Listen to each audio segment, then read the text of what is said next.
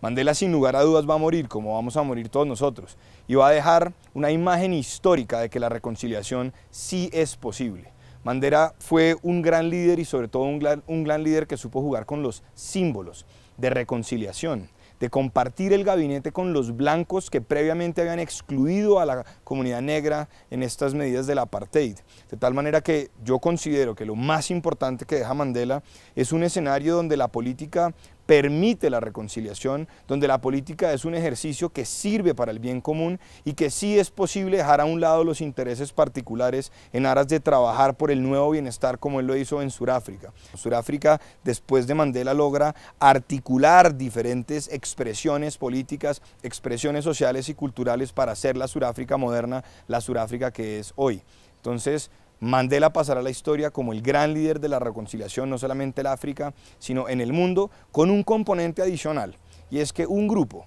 previamente considerado terrorista por la comunidad internacional, logra acceder al poder, lograr escenarios de reconciliación y tratar de, de reconciliar dos cosas que son muy difíciles, que es el tema racial. Blancos y negros en Sudáfrica hoy tratan de convivir y yo creo que lo han hecho relativamente bien.